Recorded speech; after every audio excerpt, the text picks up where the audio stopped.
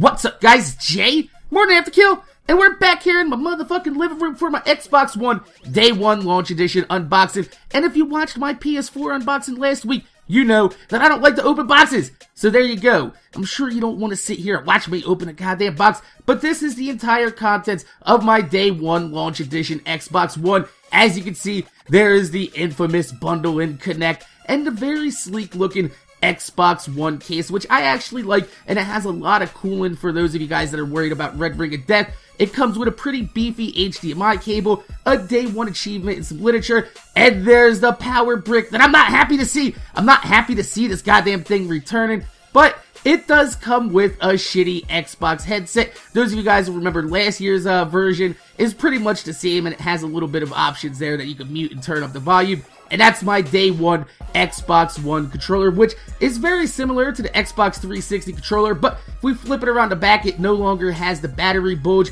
It still takes batteries, but it has a port on top that might maybe let you recharge this, I'm not sure, but the Xbox 360 One case looks very awesome, and I'm actually pretty happy with the way it looks, except the fact that it is huge, but you do get a lot of options back here. Look at all those HDMI ports. You got HDMI in, HDMI out, and those of you guys that are wondering what HDMI in is for, that is if you want to hook your cable up to your Xbox. And there's the $100 piece of shit that everybody hates is the Kinect, which the government is going to use to spy on you.